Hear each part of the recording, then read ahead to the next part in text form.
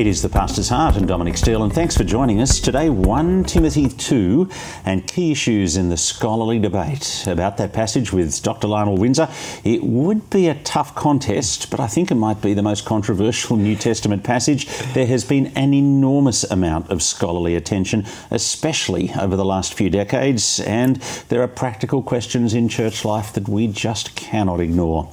Uh, there are all sorts of issues swirling around the doctrine of creation, humanity, our stance towards the world's cultural issues. Lionel Windsor He is a New Testament lecturer at Sydney's Moore Theological College. He teaches the pastoral epistles to third year students, amongst other things, and so he's abreast of that scholarly debate. He gave a super helpful seminar a few months ago at the Priscilla and Aquila conference held by Moore College, and uh, we have linked to that in the show notes. And he's agreed to come in today and answer questions. Uh, Lionel, the pastor, and your heart for us pastors. Um, 1 Timothy 2, it does seem overwhelming. It feels like if I go near it and preach in it, I'm just going to be touching a lightning rod and get mm. electrocuted. yeah, absolutely. is, is, it like it's that a, for you as a college oh, lecturer? It certainly is. It's like that for anyone who's in any kind of pastoral ministry or really, really anywhere. Uh, I chose to do this uh, because obviously I teach the pastoral epistles at, at Moore College. I was so grateful for uh, Jane's, um, as, as, Jane runs the uh, Priscilla and Aquila uh, conference, I was so grateful that she was uh, willing to, to have this um, in as part of the mm. uh, the conference. We were looking at the idea of lazy complementarianism and how we can actually think um, really hard about working together as men and women. So, what are the elephants in the room as we mm. get hmm. closer and closer to 1 Timothy 2? Yes, so actually, in the uh, uh, as I was preparing for this, I was thinking, what are the big elephants in the room? And I actually identified 16. I'm not going to list all of them. that's right. We've only got 29 minutes Exactly, that's right. But uh, I think that's helpful to think there's actually a herd of elephants in the room with us. Yep. And so some of them are cultural, some of them are, uh, have to do with um, our just our context. Mm-hmm. Uh, so there are, there are cultural issues. Um, some of the elephants in the room are just simply that um, we uh, live in a society uh, that has had massive shifts in the mm. last at least 100 years, yep. Uh, perhaps the last 50 years, in terms of uh, the way that uh, men and women relate and work in society. Yep. That's one of the, the, the, elephants in the room. Another elephant in the room is a scholarly elephant in the room, and that is that simply because this is a controversial topic, so much scholarship has been created on it, and because that, that, that um, can just overwhelm us and can make us think, well, we need to just listen to the experts. Unless I've, unless I've read every book, how can I? How can I ever yeah, actually make a decision on this? That's right. And uh, part of that is, is actually simply because controversial topics have lots written on them mm-hmm. because mm-hmm. they get lots published on them. Publishers love controversial topics. Right. Uh, and so uh, anything that's controversial will generate a huge amount of scholarship. Uh, there's a whole lot of other um, issues and elephants in the room as well. One of, one of which is that we can be very polarised in our world and we're very polarised on this particular issue. Uh, we all want to paint ourselves as victims. That's mm-hmm. kind of how it works. So both, um, I guess, broadly complementarians and egalitarians. Everyone wants to say that we're the underdog who needs to uh, be be listened to. Um, so I've just I list a whole lot of those uh, elephants in the room. I want to say that um, that can sound negative, and in one sense it is. It can be very overwhelming. But there's also a positive uh, aspect to that, and that is, and this is what I say to our students if you actually engage with the issues in 1 Timothy 2, you're actually engaging with so many cultural, and theological issues mm-hmm. and biblical issues uh, that actually you could you could almost um, uh, engage with the, the, the, so much of theology and culture in the Bible just by looking at the issues that arise from 1 Timothy 2. Mm-hmm. Uh, on the flip side, that means that if you don't engage with 1 Timothy 2 uh, and feel like you can just take it and stick it, you know, in a little box mm. and never deal with it, well, it'll always just keep popping out of the box because it uh, intersects with questions to do with what is a man, what is a woman. It's got to do with what is church, what are we doing in church, what's preaching, what are sermons, uh, what's sin, how does it relate to the new creation. There's just all these questions that keep coming up uh, as we engage with the questions in 1 Timothy 2. So, what are the main questions in the scholarly debates? Okay, what are the main questions? Like I say, uh, well, sorry, like I said about the, the elephants in the room. I identified and there about 30 of them exactly. That's right. Um, and so I could pick I could pick a, a, a few um, of of the big ones, mm-hmm. um, and and there's other ones as well. Uh, one of the big ones is what is one Timothy. Um, what's going on in 1 Timothy as Paul writes his letter uh, to Timothy in Ephesus. So uh, there's, there's sort of two broad lines of thought on that um, in, the, in the scholarship. One broad line of thought is that uh, Paul is writing to Timothy to oppose a false teaching. He, he's obviously writing to oppose a false teaching, mm. that's quite clear.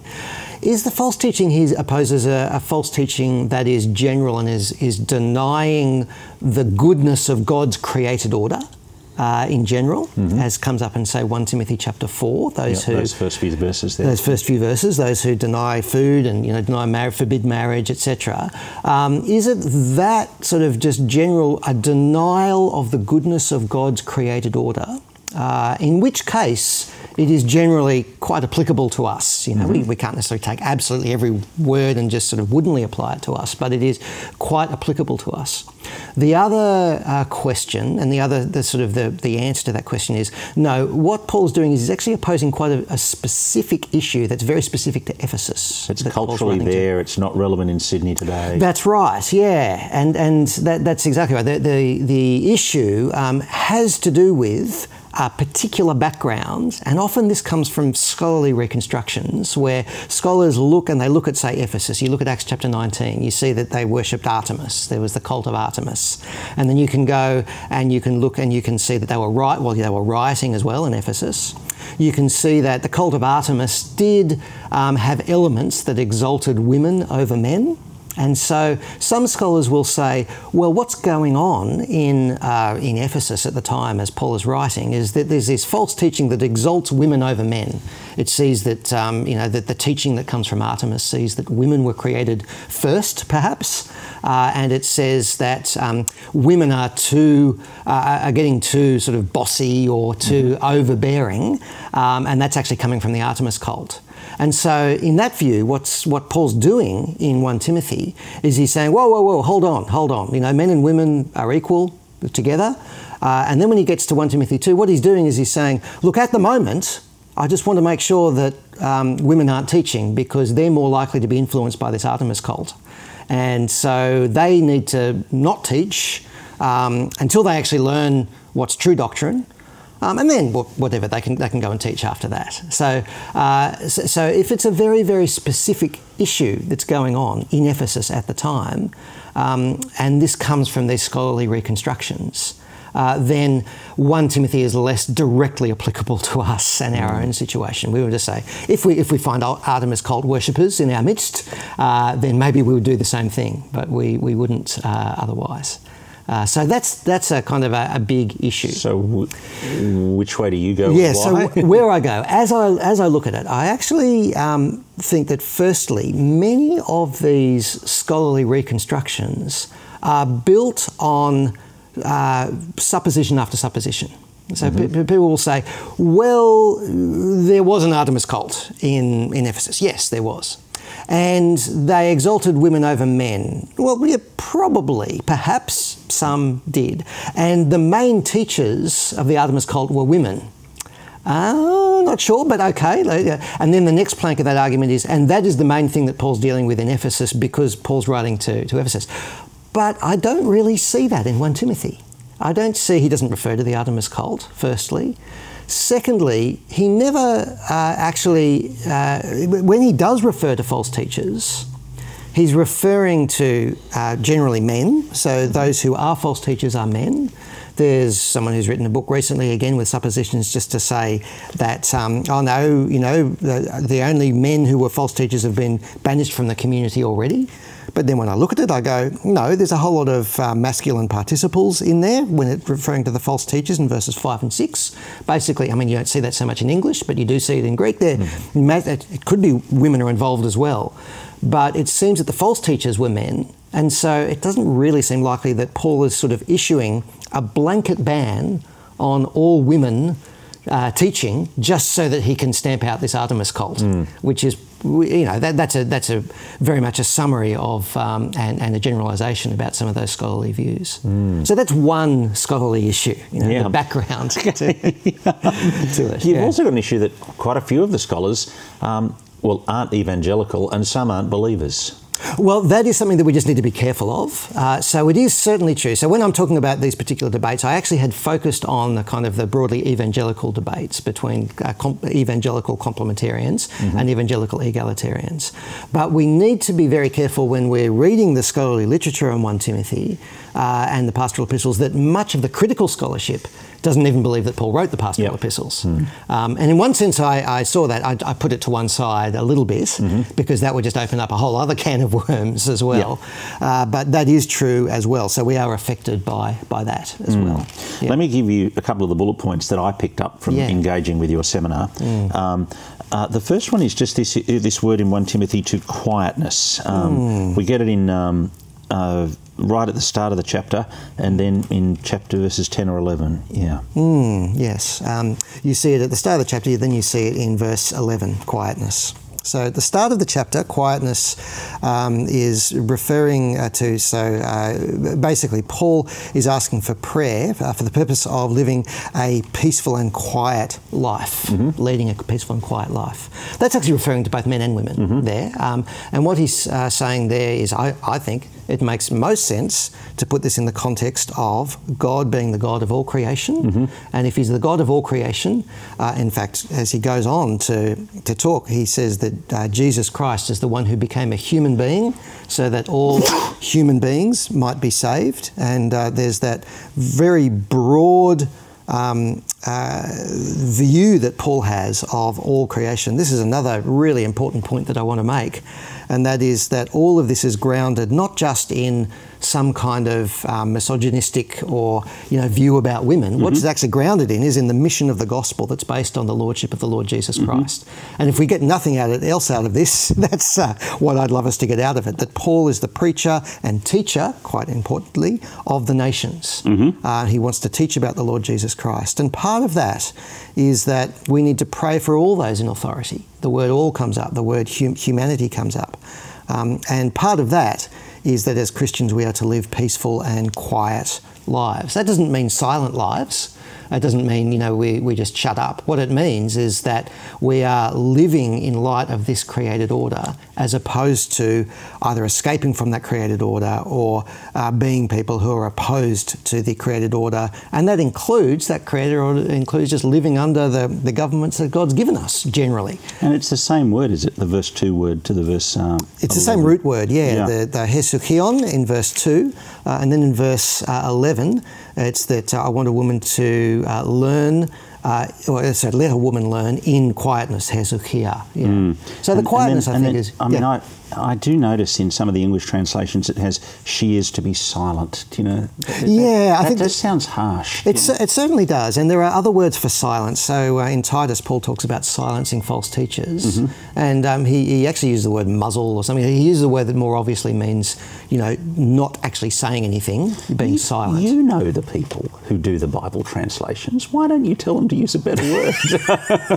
I know. They're your peers and friends. well, I, I, I haven't actually looked at the NIV. I've got a friend who's um, no, on the it committee. Did, it, yeah. did. It's, uh, actually, yeah. I haven't seen the 2011 version, but the, two, mm. the, the, one before said she mm. must be silent. Okay, yeah. yeah, yeah. So we always um, uh, I, I, think as we look in more in more care and detail at these passages, uh, we always have um, you know questions that we need to ask about are we translating it rightly, mm. um, and that is actually why we teach Greek at Moore mm. College. I mean, I'm just I've got yeah. the the yeah. Holman out in front in front yeah. of me, and it, it says, "I do not allow a woman to teach or have authority over men. Instead, she is to be silent." Do you know? Okay, so what what is what's important is it, I think it, you're saying quiet is the word is the meaning. I think the word is quiet, and, and also and I want to say just for a moment, or just yeah, yeah, yeah. being quiet in the sense of uh, there's a quietness of attitude there. And I'm very, very grateful. As, as I've looked at this, um, there's, there's some summaries, and I refer to these in my in my uh, video in the paper. Yep. I refer to uh, Claire Smith's work. Yep. I also refer to some egalitarian writers. Yep. But I think Claire Smith, she's her book um, God's Good Design. It's written f- uh, for an easy read and she does a great job of that. But what that can disguise is the huge amount of scholarship mm. that's behind that book, uh, and not only that book, but um, you know Claire's Claire's PhD is you know so thick. Yeah. Uh, and what she's done is deliberately looked at the terminology of learning and teaching in the uh, New, in the New Testament, but particularly in 1 Corinthians and in the pastoral epistles, 1 Timothy, 2 Timothy, Titus. And uh, she's looked at the idea, of the educational terminology. Mm-hmm. Um, now, the word, uh, one, one of the key words that comes up then is the word both learn, verse 11, mantheneto, that is uh, to, to learn, um, let a woman learn, that's actually a positive thing. Mm. You know, it's not um, let her learn so that she can go on to teach. That's not necessarily what Paul says. He says let her learn. That's a positive thing. Hmm. Education mm. is a good thing. Um, but uh, the key word, and, and we say that for everyone, let them learn. Well, yeah. Absolutely, that's right. And so the point is not that uh, women should learn and men shouldn't. The point is that um, in, in this context, that women are to learn. That's, that's important. And the, there's a particular attitude that Paul gives in terms of quietness and uh, submissiveness there. But then um, the key word in verse 12, uh, which is the first word in verse 12. Now that's that means to teach. Mm-hmm. We don't see it as the first word in verse 12 in English translations, mm-hmm. uh, which is why we want to keep getting our students who are going to be pastors to learn Greek and to mm-hmm. remember Greek. We don't see it as the first word because um, you know the way that English works, you can't e- you can't easily make it the first word just to, because of word order. But it is the key and prominent word in verse mm. 12, to daskain, to teach. Um, now, um, so it's to teach a woman, not I permit. Exactly, yes. Which sounds weird, yeah. Yeah. And um, but word order does matter, uh, mm-hmm. especially in terms of prominence. Uh, now, uh, here, that word um, has had a lot of debate um, that's circled around it, mm-hmm. as well as its relation to a word that appears a little bit further on in the verse, which is authentein, which can mean either to assume authority or to, uh, to have authority. Uh, but the question of what that word means, didaskain, is, mm-hmm. is, uh, is exercised a lot of uh, questions. Well, what do they say? Okay, so here's, here's four options, okay? Right. This is what I do in my paper. I just go, here's four options, yeah. but I want to say I, I think one of them's right, or I think there's a good reason to think that one of them's right. One option is didaskain, to teach, means uh, any time anybody says something so that somebody else learns something.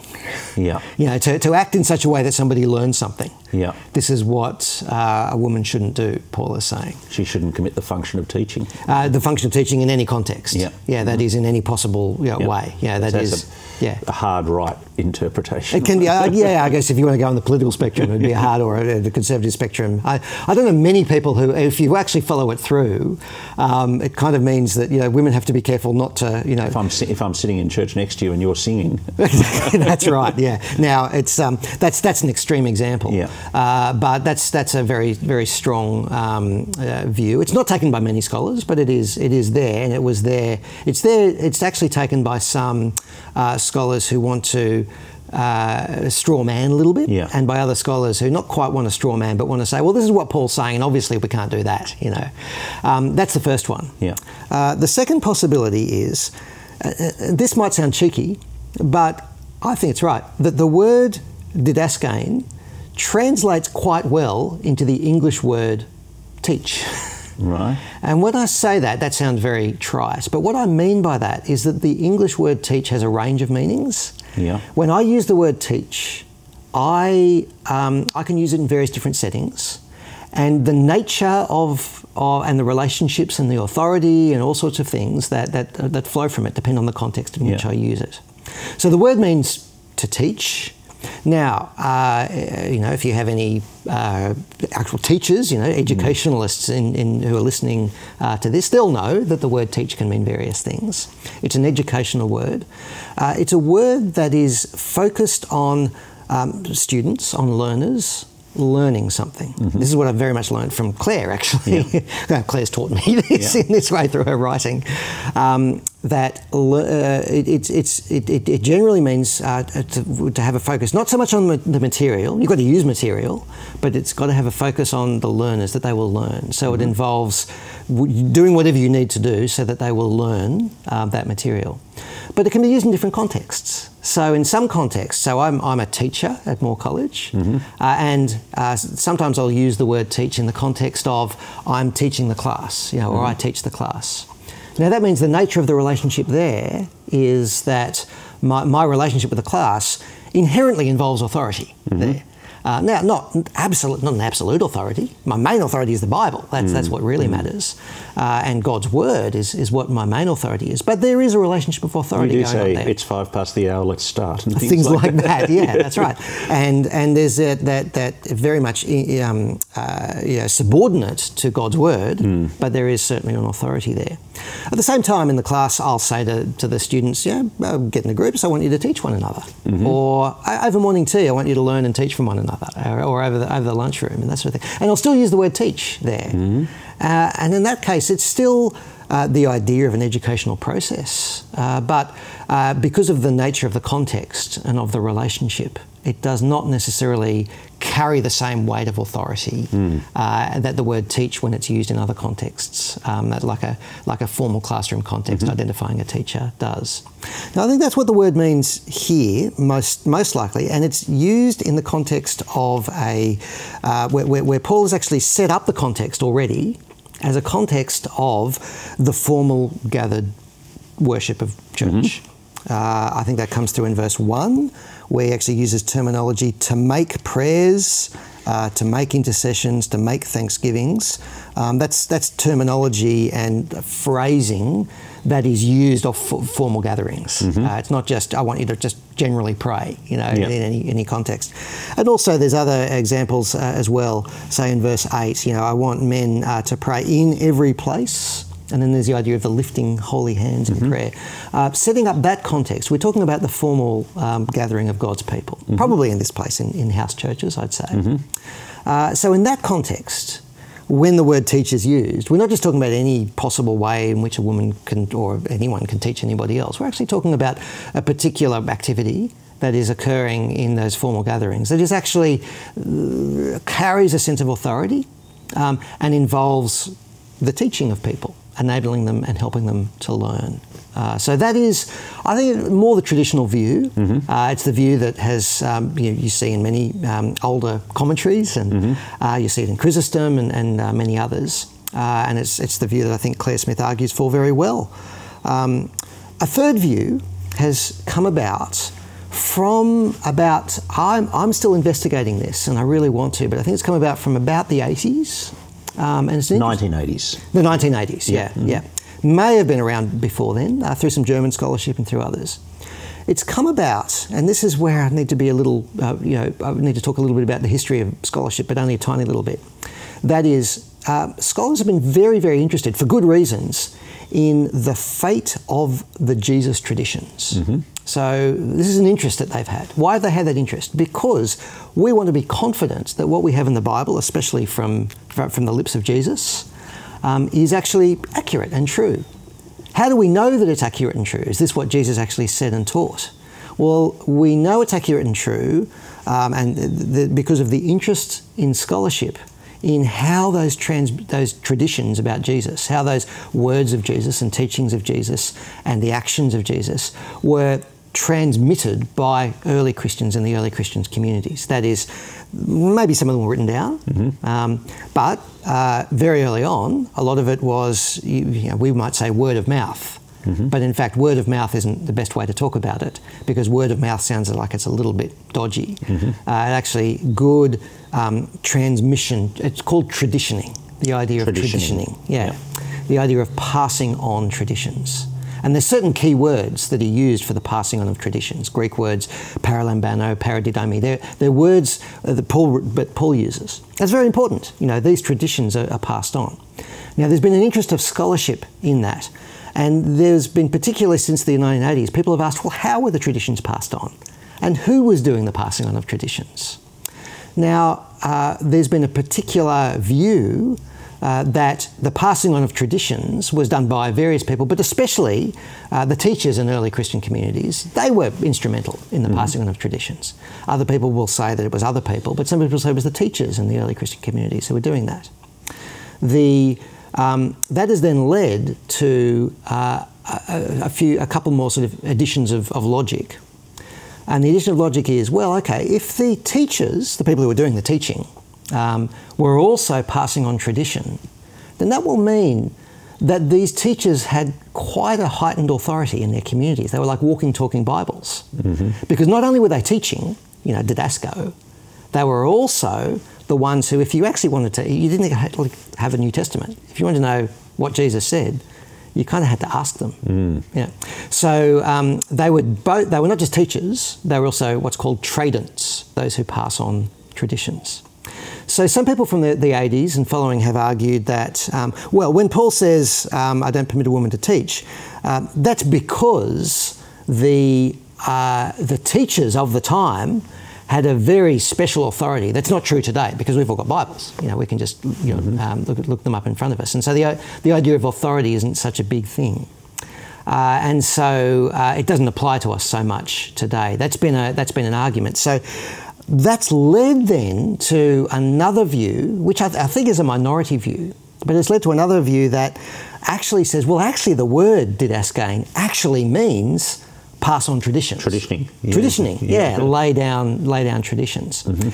Uh, I don't think it works for, for a number of reasons. One, one reason I think it works is as I've looked at especially Claire's work, she, she really helpfully distinguishes um, uh, the passing on of traditions from the verb to teach. They're, of course, they're connected very much connected. You know, if you're going to teach something, you need to know what am I teaching. Yeah, yeah, of course. Um, a little bit, you know, like me, I, am involved in syllabus work. You know, I, I put syllabuses together. Yeah, uh, but that's not the same as teaching. Yeah. yeah. Um, but some people have said that it's exactly the same thing.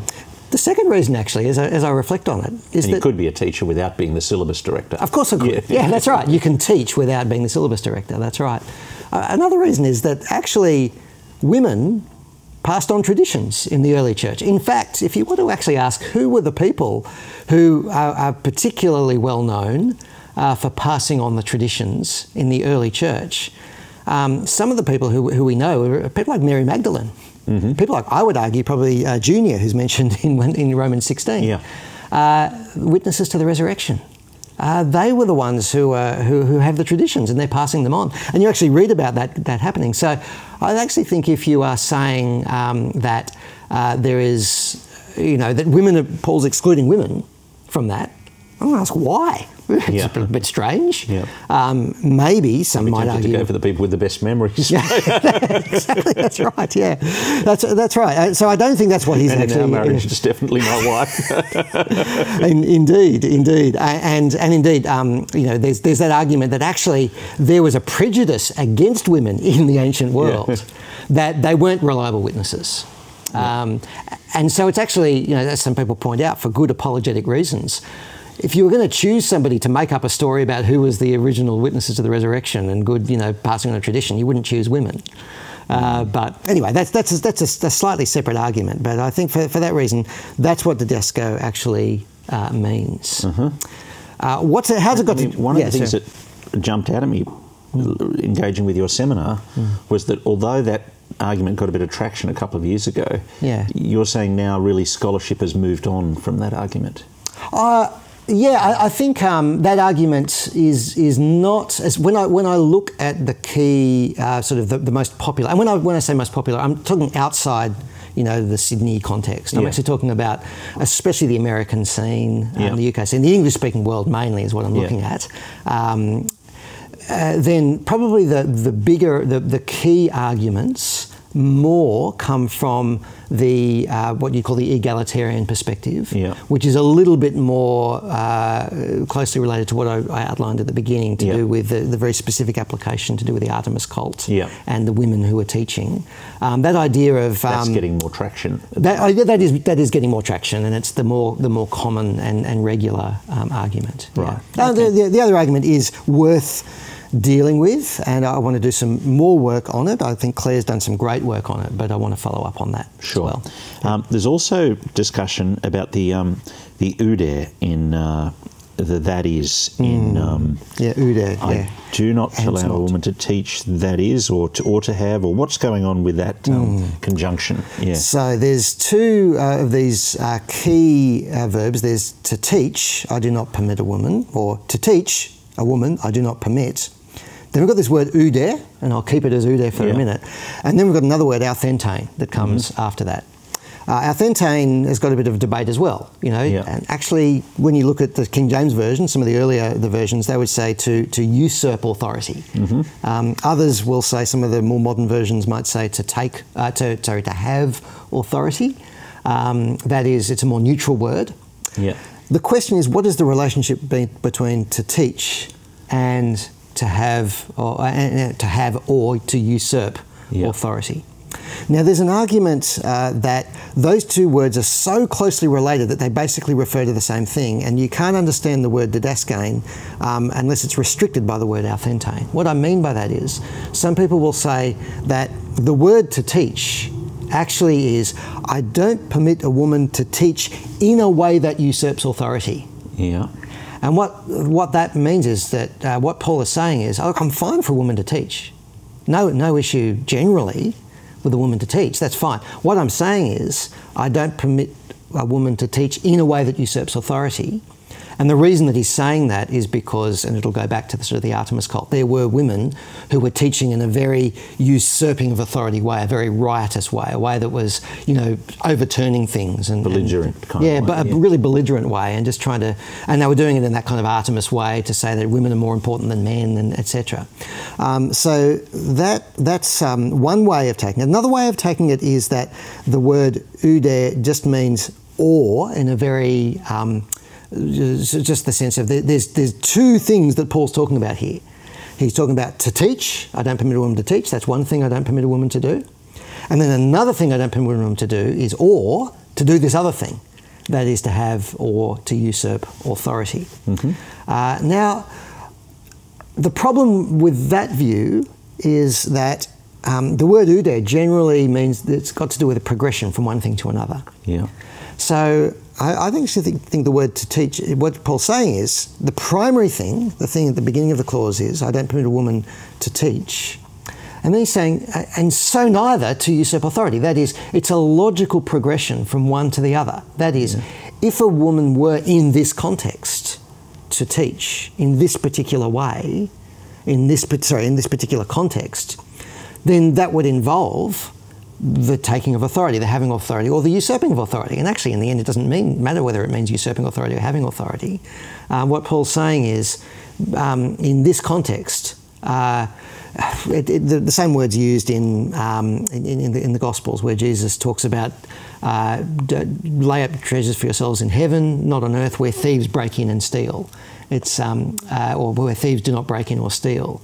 Uh, uh, so in heaven, where thieves do not break in or steal, it's the same idea. There's you know there's a logical progression from Yeah, one yeah, to the yeah. other. Yeah, uh, but it's not it's not the idea of to teach.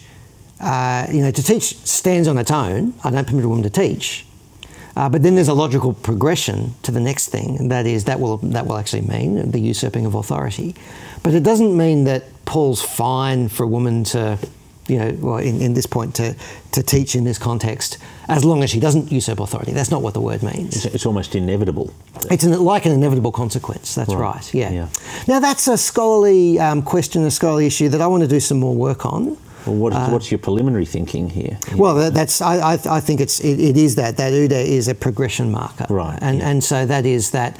Um, and when you look at the clause, you know, didaskain is really close to the start of the clause. The Authentein appears later, uh, and so Paul's what that means is that Paul's primary interest here has got to do with the dynamics of speaking and hearing, of learning and teaching, and secondarily, um, he's interested in, in what we might call authority, and that's important. Um, and that, that sort of moves on to verses 13 to 15. So, what would your preferred English translation of that conjunction be? It's, it's very hard, but I would say at this point, so neither. That, I, I do not permit a woman to teach, so neither to have authority over. Yeah, yeah. Mm, that's how I take it at this point. Now, what I'm doing at this point is saying I want to do some more work. I actually receive that, that, that view um, very, very helpfully.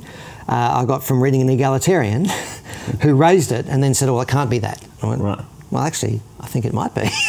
there. Now, Lionel, I- mean, I'm I'm tempted to go down the line of verses 13, 14, and 15, um, but uh, we're running out of time. I noticed in your seminar you took a great deal of time to say, uh, I'm not going to teach you about applying things and what it means. You know. yeah. But I want to know what yeah. should I do? What do you do?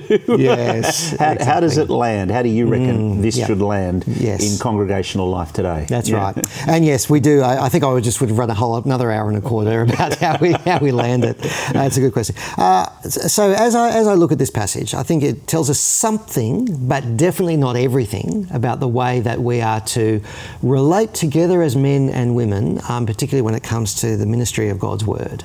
Uh, and uh, I think there's a reasonably straightforward um, application to what we call the sermon, mm-hmm. in at least in my context, yeah. probably your context. I don't know if there's other contexts where the sermon can mean something else, but mm-hmm. I think mm-hmm. there's a reasonably straightforward application to that. Having said that, um, it is important for us to look at so many of the other passages that are there in the Bible that do value the, the, the voices of women and the input of women and, and, learning from women. One of the ways that we are quite deliberately seeking to do this at Moore College, um, and I've been wanting to do this before I started at Moore College, is to work out ways that in our, our services uh, and indeed in our, uh, our teaching, uh, we can do that in, in a genuinely complementarian way. Mm. You know, the lazy complementarian will say, the lazy complementarian man will say, uh, and I'm guilty of this, okay? Uh, it's too late, just got to give a sermon, okay, I'll just give it. Mm-hmm. Uh, but one thing, one of the things we need to do is to think further about this. How can we actually include um, others, including women, uh, in, in our teaching? Now, that actually in- involves having to be prepared. Mm-hmm. It involves actually having to think in advance, to chat in advance. Uh, one of the things I've tried to do is my, my uh, very good colleague and, and friend Susan uh, at, at, college. Uh, Susan's the Dean of Women. There's also my co-chaplain. Uh, I was um, I was up to preach on 1 Timothy 5, 1 to 16 um, mm-hmm. Uh, recently. It was, we were looking at widows, mm-hmm. looking at the question of the order of widows. And I really wanted to have very much Susan's input, not just for myself, but for everybody in that. So what I chose to do is to sit down with Susan. Uh, we, we talked about it. Susan had some very good pastoral insights into, mm-hmm. into the passage. Uh, I chose to take off um, about six or seven minutes from what I was going to preach, which left me with, I don't know, 13, 14 minutes. Mm-hmm. Uh, and then to um, have Susan uh, to give some reflections and really helpful insights into mm-hmm. that passage. You can see it on the Moore College website uh, now, mm-hmm. what we did. Uh, to do that, I wanted to, to listen to what Susan had to say. Susan and I, we worked together on this, uh, and then we presented. And I, I, I, guess I preached the sermon.